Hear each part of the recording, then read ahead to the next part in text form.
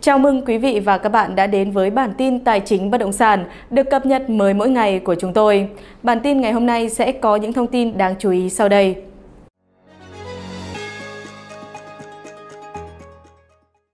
Tổng công ty xi măng Việt Nam Vicem đang đứng trước khó khăn nhất trong 120 năm hoạt động khi sản lượng tiêu thụ, xuất khẩu xi măng và clinker suy giảm, chi phí đầu vào tăng cao, nhiều nhà máy phải sản xuất cầm chừng hoặc dừng lò. Đó là nhận định của Tổng giám đốc Vicem Lê Nam Khánh về kết quả hoạt động sản xuất kinh doanh nửa đầu năm 2023. Theo số liệu thống kê của Hiệp hội xi măng Việt Nam VNCA, sản lượng sản xuất xi măng 6 tháng đầu năm 2023 đạt 39 triệu tấn, giảm 7% so với cùng kỳ. Nguyên nhân là do chi phí sản xuất tăng mạnh, thiếu điện buộc doanh nghiệp xi măng phải tính toán lại phương án sản xuất kinh doanh năm nay. Tổng sản lượng xi măng tiêu thụ trong giai đoạn này đạt 43 triệu tấn, giảm 10%, trong đó tiêu thụ xi măng tại thị trường nội địa đạt 29 triệu tấn, giảm 8%. Kênh xuất khẩu cũng không khả dĩ hơn. Tình hình tiêu thụ khó khăn tại các thị trường lớn như Trung Quốc, Bangladesh, Philippines khiến sản lượng xuất khẩu xi măng của Việt Nam sụt giảm kỷ lục. Qua 6 tháng, các doanh nghiệp xi măng mới xuất bán được 14 triệu tấn, giảm 15% so với cùng kỳ năm 2022. Đối với Vicem, 5 tháng đầu năm, tổng sản phẩm chính tiêu thụ của doanh nghiệp này đạt 9,7 triệu tấn, với tổng doanh thu 13.701 tỷ đồng. Lãnh đạo Vicem cho biết, hiện công suất thiết kế của các nhà máy xi măng ở Việt Nam lên đến 120 triệu tấn một năm, trong khi nhu cầu xi măng chỉ khoảng 65 triệu tấn, dư thừa gần một nửa. Hiện tồn kho clinker rất lớn, phải đổ ra các bãi ngoài trời, không chỉ làm tăng chi phí sản xuất mà còn làm ô nhiễm môi trường. Nguyên nhân của tình trạng trên là do lĩnh vực bất động sản đóng băng, cả nước không có dự án lớn nào khởi công hay xây dựng. Trung Quốc không nhập khẩu xi măng của Việt Nam, trong khi đó giá điện, than, vật tư, nguyên liệu đầu vào để sản xuất xi măng đều tăng đáng kể, làm cho ViSem như đứng ngồi trên đống lửa. Xác định nửa cuối năm 2023, tình hình thị trường xi măng trong và ngoài nước còn nhiều biến động. Vicem đã đề ra hàng loạt giải pháp để duy trì hoạt động, đảm bảo đời sống và thu nhập cho người lao động. Thời gian tới, Vicem sẽ chú trọng công tác duy tu, bảo trì sản xuất ổn định, thực hiện tiết giảm chi phí sửa chữa máy móc, thiết bị, tiêu hao nguyên vật liệu để nâng cao sản xuất kinh doanh, đồng thời bám sát tình hình thực tế, phối hợp chặt chẽ giữa khối sản xuất và tiêu thụ để trà soát, xây dựng các kịch bản và linh hoạt lựa chọn phương án sản xuất kinh doanh phù hợp. Tiếp tục chỉ đạo các đơn vị thành viên bám sát diễn biến thị trường tiêu thụ, giá nguyên nhiên vật liệu đầu vào để có các giải pháp xây dựng giá bán và chính sách bán hàng linh hoạt theo từng chủng loại, địa bàn, thị trường thực hiện nghiêm kỷ cương trong phối hợp thị trường về địa bàn giá bán để tăng sức mạnh cạnh tranh và tận dụng lợi thế, quy mô của các đơn vị thành viên. Cùng với đó, đa dạng sản phẩm xi măng xuất khẩu để đáp ứng nhu cầu nhập khẩu của khách hàng, của các thị trường, nghiên cứu sản xuất các sản phẩm mới đáp ứng yêu cầu chất lượng của các thị trường khó tính.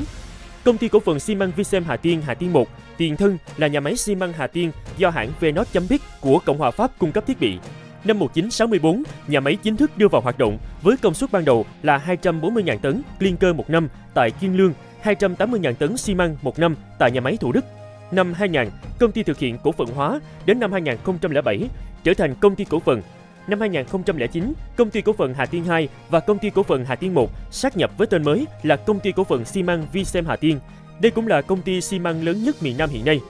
Lĩnh vực kinh doanh của công ty bao gồm sản xuất kinh doanh xi măng và các sản phẩm từ xi măng, sản xuất kinh doanh vật liệu xây dựng, các sản phẩm phục vụ xây dựng và công nghiệp, kinh doanh xuất nhập khẩu xi măng và nguyên vật liệu, vật tư thiết bị phục vụ sản xuất xi măng và các loại vật liệu xây dựng khác,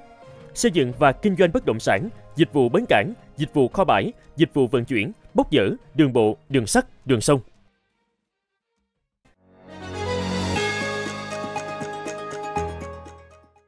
Báo cáo thị trường bất động sản tháng 5 tại thành phố Hồ Chí Minh và vùng phụ cận của DKRA cho thấy thị trường vẫn chưa thoát cảnh ảm đạm khi không có dự án mới nào mở bán. Tỷ lệ tiêu thụ căn hộ chỉ bằng 2% so với cùng kỳ. Đơn vị này cho biết các chính sách chiết khấu khủng đối với phương thức thanh toán nhanh, kéo giãn kỳ hạn thanh toán tiếp tục được các chủ đầu tư áp dụng để kích cầu người mua giữa bối cảnh thị trường khó khăn. Mặt bằng giá bán sơ cấp tiếp tục neo ở mức cao trước áp lực các chi phí đầu vào, lãi vay, pháp lý. Trong khi đó, theo nhận định của Hội môi giới bất động sản Việt Nam VAS, bên cạnh nguyên nhân khách quan còn có những nguyên nhân chủ quan do hàng loạt các chính sách thắt chặt về tín dụng, trái phiếu doanh nghiệp cũng như các vướng mắc về pháp lý trong quá trình triển khai dự án chưa được tháo gỡ một cách triệt để, khiến thị trường bất động sản rơi vào trạng thái trầm lắng. Lãi suất duy trì ở mức cao từ cuối năm 2022, giảm nhẹ vào đầu năm nay nhưng vẫn ở ngưỡng cao đối với sức chịu đựng của doanh nghiệp. Áp lực chi phí tài chính tăng cao trong khi dòng tiền khan hiếm vì không bán được hàng, không huy động được vốn từ trái phiếu, không đủ tiêu chuẩn vay vốn tín dụng khiến sức khỏe các doanh nghiệp ngày càng suy yếu. Tình trạng khó khăn kéo dài không chỉ ảnh hưởng tới các đối tượng tham gia thị trường bất động sản mà còn kéo theo sự trì trệ của hàng loạt các ngành nghề liên quan khác. Đại diện của VAS cho rằng nếu không tìm được lối thoát kịp thời, rất có thể thị trường sẽ phải đối mặt với kịch bản ra đi của hàng loạt các đối tượng từ doanh nghiệp đầu tư, phát triển bất động sản đến doanh nghiệp kinh doanh dịch vụ bất động sản và môi giới bất động sản. Nhiều người lao động sẽ lâm vào cảnh mất việc làm, hệ lụy đến cuộc sống an sinh xã hội. Theo VAS, chính phủ đã ban hành hàng loạt các chính sách giúp doanh nghiệp giãn, hoãn các khoản nợ. Tuy nhiên, để tự cứu lấy mình, các doanh nghiệp bất động sản phải chủ động xem xét lại nguồn lực, ra soát lại các dự án đang có, chỉ nên giữ lại các dự án tiềm năng mà doanh nghiệp có đủ năng lực triển khai, kêu gọi đầu tư, liên doanh, liên kết, bán một phần hoặc toàn bộ dự án, không thể tiếp tục triển khai thực hiện.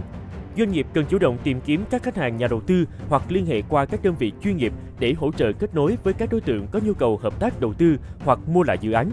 Để sớm đạt được thỏa thuận, doanh nghiệp cần giảm bớt kỳ vọng, thậm chí sẵn sàng chấp nhận bán lỗ. Không thể khó khăn cũng đòi có lãi, phải đưa lên bàn cân giữa việc giảm kỳ vọng xuống để giảm gánh nặng chi phí, mang dòng tiền về tái thiết lập bộ máy, thực hiện các dự án khả thi với việc tiếp tục ôm dự án, gồng gánh chi phí, xa lầy trong số lãi ngày càng tăng, đối mặt với nguy cơ chết chìm trên đống tài sản, giải pháp VAS nêu ra. Thực tế cho thấy, có không ít doanh nghiệp chỉ vì cố gắng cầm cự trong khi khả năng không đủ đã tự đẩy mình vào bước đường cùng với đủ các khoản lãi mẹ đẻ lãi con, để rồi nhận trái đắng với đống nợ khổng lồ mà tiền lãi còn gấp nhiều lần nợ gốc.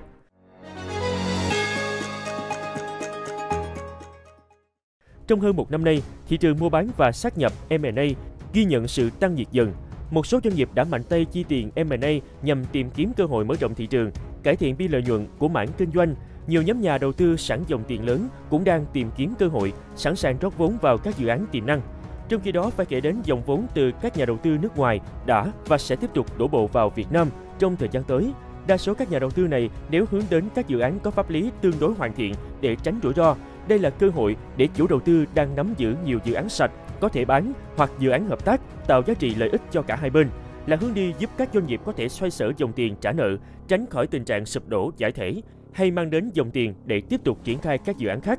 chống thất thoát lãng phí nguồn lực đất đai, khôi phục hoạt động sản xuất kinh doanh, đưa hàng vào thị trường. Theo VAS, để dòng vốn ngoại tiếp tục chảy mạnh, trở thành cú hích cho thị trường, Cơ quan chức năng cần tiếp tục cải thiện khung pháp lý cũng như các chính sách khuyến khích đầu tư cho các nhà đầu tư nước ngoài đến đầu tư tại Việt Nam. Song song với đó, nhà nước cần tiếp tục có các giải pháp nhằm tháo gỡ triệt để các khó khăn vướng mắc pháp lý cho các dự án chưa đủ điều kiện chuyển nhượng, ưu tiên các dự án cấp thiết phù hợp với nhu cầu thị trường.